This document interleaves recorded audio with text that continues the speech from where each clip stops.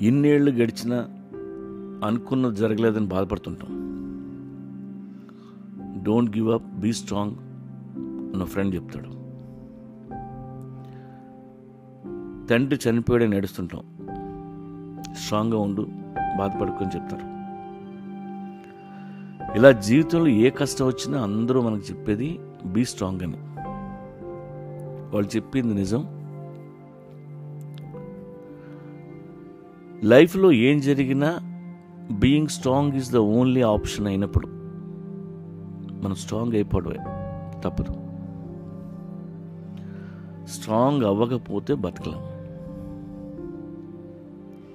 స్ట్రాంగ్గా ఉండాలంటే రెండు ఉంటాయి. Mental strength physical strength strong పీపుల్కి కొన్ని క్వాలిటీస్ ఉంటాయి. గ్రాటిట్యూడ్ చేసిన సహాయం మర్చిపోరు. గుర్తుపెట్టుకుంటారు. ఛాలెంజెస్ని యాక్సెప్ట్ చేస్తారు. దానికోసం వర్క్ చేస్తారు. హెల్దీ బౌండరీస్లో ఉంటారు. హెల్దీ ఫ్రెండ్స్తో గడుపుతారు.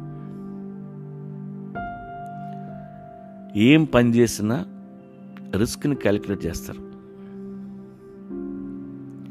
పాస్ట్ నుండి నేర్చుకుంటారు.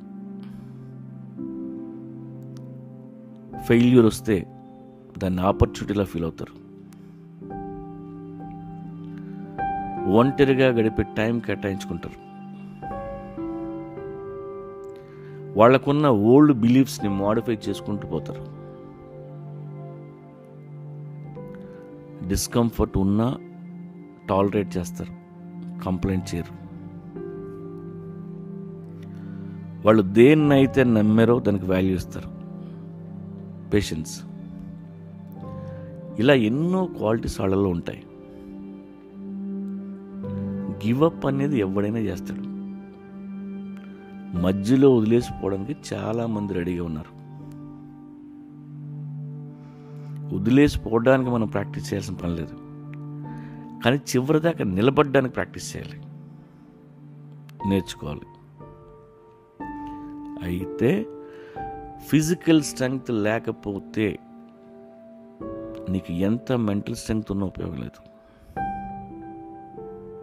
అందుకే అందరం వర్కౌట్ చేయాలి. మీరు ఎక్సర్సైజ్ చేస్తున్నారో లేదో నాకు తెలీదు. చేసినా చేయకపోయినా ఈ మూడు ఒకసారి చెక్ చేసుకోండి.